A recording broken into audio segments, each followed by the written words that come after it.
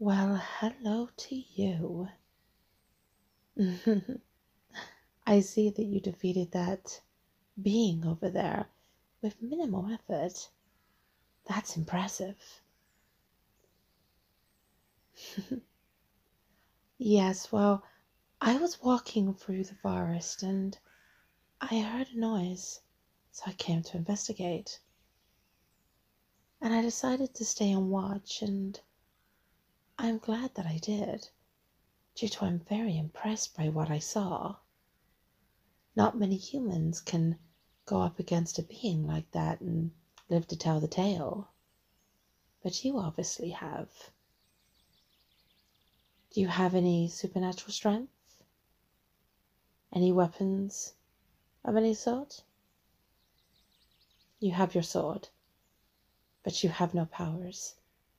Okay. Well, that makes it double impressive then.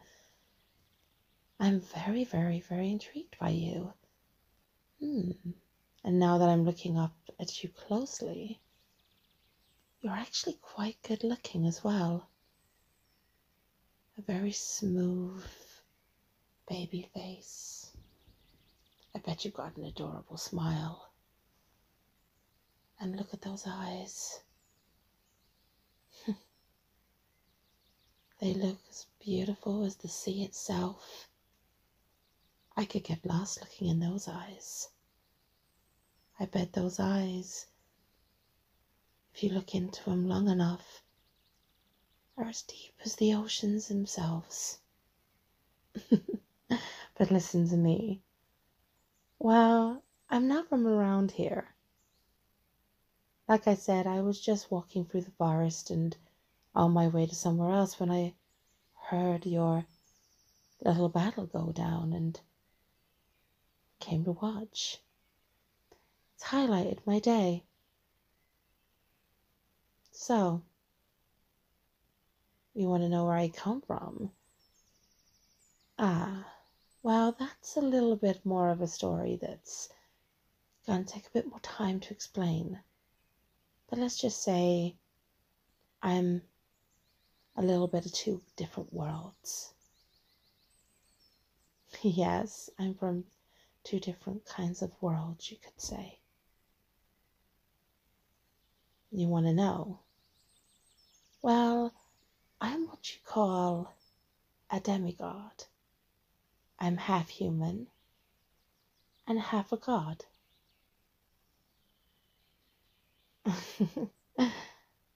yes, I am. Well, my father is Zeus and my mother is from another town.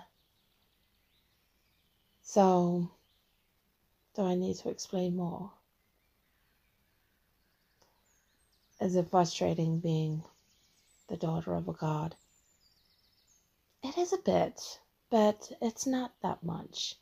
As long as I keep my identity hidden, I don't really get that much trouble. But I think I can trust you for some reason.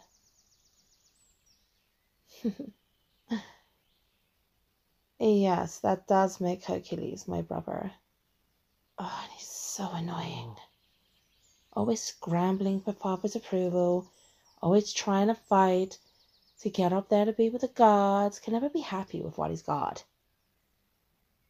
I mean, he's trying to prove himself to be this big, noble hero, and it's just so annoying. Everyone sees him as this big star, but I know what he properly is like. And trust me, he's not that dashing and he's not that brilliant.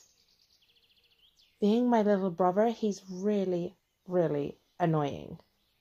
Sometimes I just want to tap him on the side of the head, but my father won't let me because he's golden boy.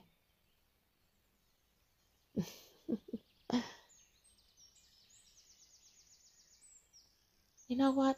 Let's go for a drink and talk more about this.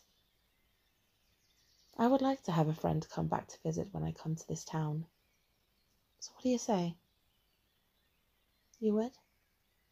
Great. Then let's go.